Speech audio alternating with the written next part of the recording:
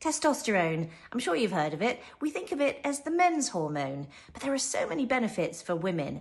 However, I do not want to wake up with a hairy chin or a deep voice, so let's debunk some myths and talk to Judith Spruzs, founder and owner of Menopause Health, and find out what are the benefits of testosterone for women.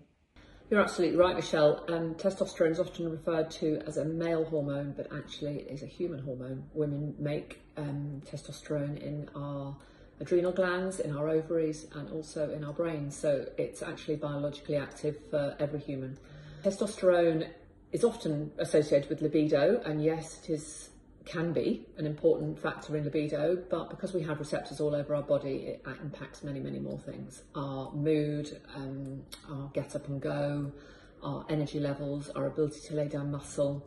So if it, you are lucky enough to get it prescribed by your GP, it will be a male product, um, something like this. It comes in a little sachet. Um, that is a single dose for a man, but has to last 10 days for a woman, 9 to 10 days for a woman. Um, we do have access to uh, um, a regulated product.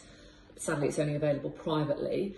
um, and this can be prescribed off-label only privately at the moment, but hopefully that will change and it'll become available on the NHS.